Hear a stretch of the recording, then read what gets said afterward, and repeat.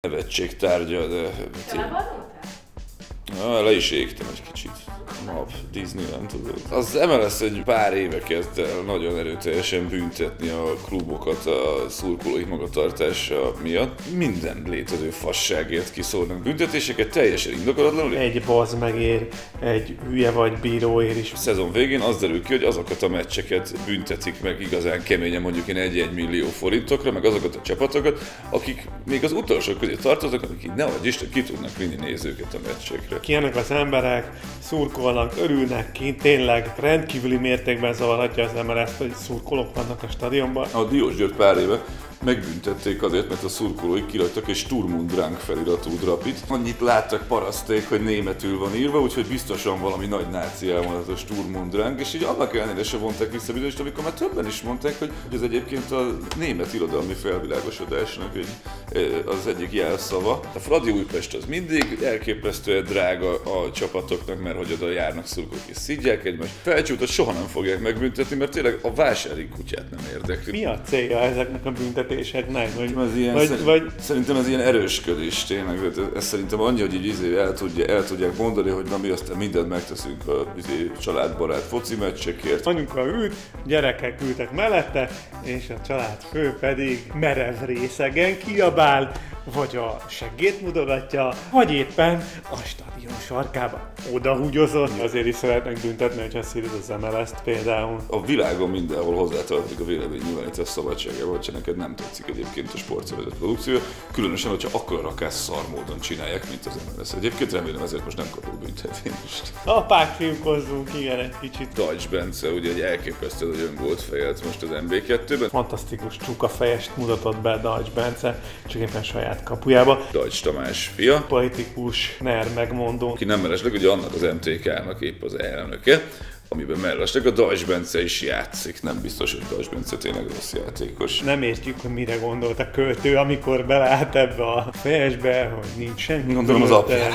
Nincs. Dajcs Bencén mindenki nagyon lelkesen röhög, pedig azért rúgtak már mások is öngólt, ahogy erről egy korábbi videóban is beszéltünk. Nevezetes NER focista karrier, ugye az Orbán Gáspáré. Bognár István, akinek ugye az apja. Bognár, Bognár Kaszinós György. A Kaszinós Gyuri. A kis Bogesz keve, keveset kap az apja miatt. Azért egyébként, tudom. mert egy különösen jó focistáról van szó, amellett, hogy kapnak egy csomó automatikus és kés nélküli segnyalást, másik oldalról viszont kapnak egy pont ugyanilyen automatizált, szinten működő gyűlölködést és köpködést is. Igazán megtette volna, hogy nem az apja futballcsapatába kezd el focizni. Bárhol máshol valószínűleg a többieket teljesen egyelő feltételrendszerekkel kapták meg a dolgaikat, és egyébként sokkal több tiszteletet is ki tudnának vívni. Foci az ugyanaz, mint a politika Magyarországon. tehát Jó, de ezt pont azt mondom, hogy, hogy a fociban legalább lehet apák fiúkozni, politikában már nem illik sajnos.